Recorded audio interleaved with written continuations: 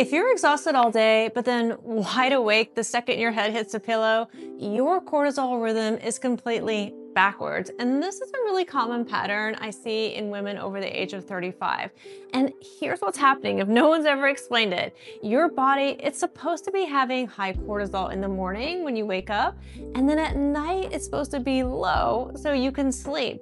But when that flips, you drag through your mornings, you crash in the afternoon, and then suddenly your brain lights up at 9 p.m. like it's a party. And the biggest culprits are blood sugar crashes, caffeine in the afternoon, and no morning sunlight, and yep, gut inflammation. Because your gut and your stress hormones, they talk to each other all day long. So here's what I want you to try.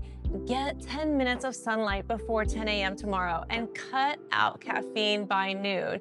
Eat protein with breakfast, and that's gonna stabilize your blood sugar. Do this for three days and watch what happens. Save this and follow for more gut health tips that actually work.